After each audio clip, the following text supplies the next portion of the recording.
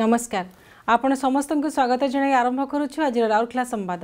ଆଜିର ମୁଖ୍ୟ ସମ୍ବାଦରେ ସେଲ୍ ରାଉରକେଲା ଇସ୍ପାତ କାରଖାନାର ପାଇପ୍ ପ୍ଲାଣ୍ଟ ବିଭାଗ ଟିମ୍ର ଅଭିନବ ପ୍ରୟାସ ଦ୍ୱାରା ନିରବଚ୍ଛିନ୍ନ ଉତ୍ପାଦନ ଓ ବାର୍ଷିକ ପାଞ୍ଚ ଦଶମିକ ପାଞ୍ଚ କୋଟି ଟଙ୍କାର ସଞ୍ଚୟ ସୁନିଶ୍ଚିତ। ସେଲ୍ ରାଉରକେଲା ଇସ୍ପାତ କାରଖାନାରେ ଶହେ ସତୁରି ଜଣ ଗ୍ରାଜୁଏଟ୍ ଟେକ୍ନିସିଆନ୍ ଓ ଟ୍ରେଡ୍ ଆପ୍ରେଣ୍ଟିସ୍ ଦ୍ୱିତୀୟ ବ୍ୟାଚ୍ରେ ବର୍ଷବ୍ୟାପୀ ତାଲିମ ପାଇଁ ଭର୍ତ୍ତି।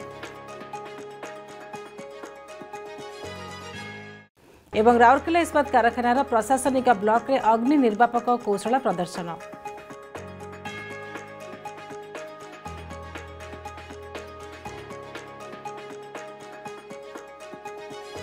ବର୍ତ୍ତମାନ ଶୁଣନ୍ତୁ ସମ୍ପୂର୍ଣ୍ଣ ସମ୍ବାଦ।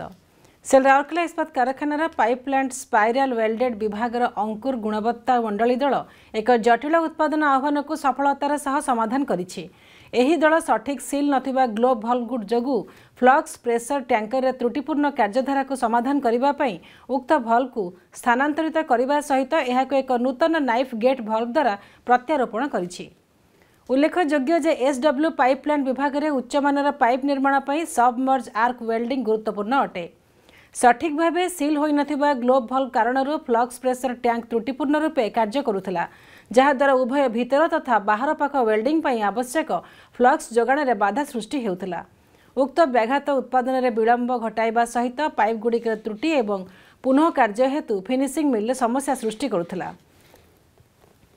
ପୁଙ୍ଖାନୁପୁଙ୍ଖ ବିଶ୍ଳେଷଣ ଏବଂ ମାନସ ମନ୍ଥନ ପରେ ଏହାର ମୂଳ କାରଣ ଚିହ୍ନଟ ହୋଇପାରିଥିଲା।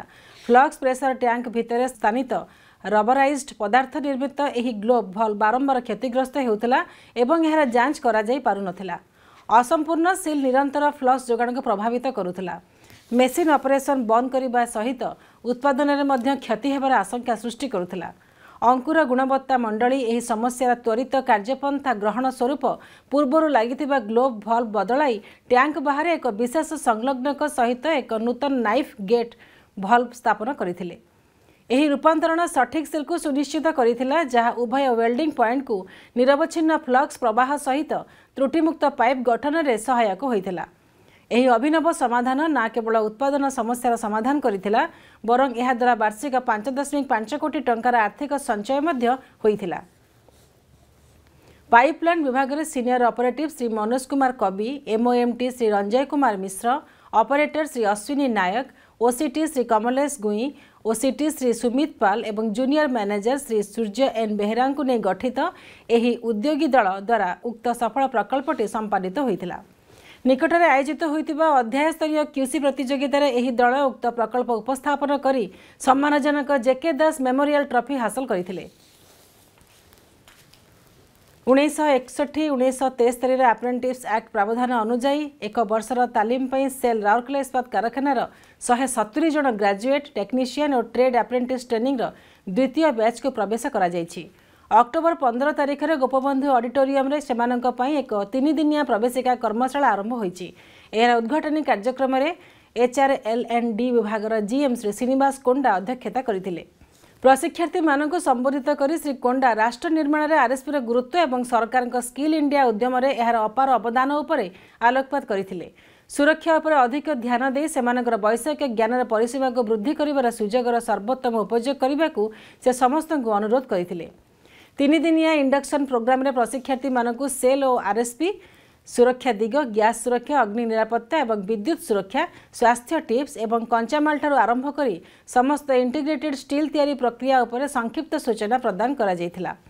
ଉତ୍ପାଦଗୁଡ଼ିକ ଅଧିବେଶନ ସମୟରେ ଅଡିଓ ଭିଜୁଆଲ୍ ମଧ୍ୟ ପ୍ରଦର୍ଶିତ ହେବ।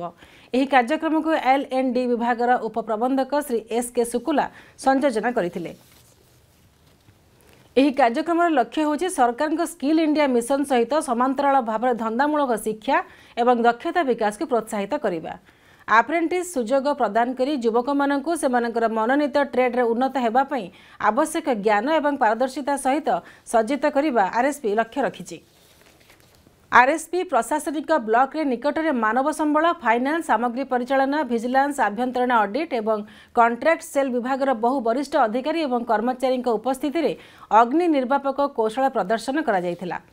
Assistant manager fire services Shri Saurabh ଖୋଜରଙ୍କ ନେତୃତ୍ୱରେ ଅଗ୍ନିଶମ ସେବା ବିଭାଗ ଟିମ୍ ସାଧାରଣ ଅଗ୍ନି ତରଳ ଅଗ୍ନି ଗ୍ୟାସ୍ ଅଗ୍ନି ଏବଂ ବିଦ୍ୟୁତ୍ ଅଗ୍ନି ଏବଂ ଆନୁଷଙ୍ଗିକ ଅଗ୍ନି ନିର୍ବାପକ ପ୍ରଣାଳୀ ବିଷୟରେ ସଂକ୍ଷେପରେ ବର୍ଣ୍ଣନା କରିଥିଲେ।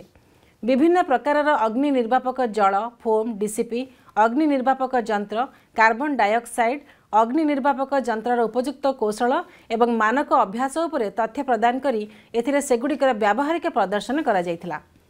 ଆଜି ପାଇଁ ଓଡ଼ିଆରେ ସମ୍ବାଦ ପ୍ରସାରଣ ଏଇଠି ରଖୁଛୁ। ନମସ୍କାର।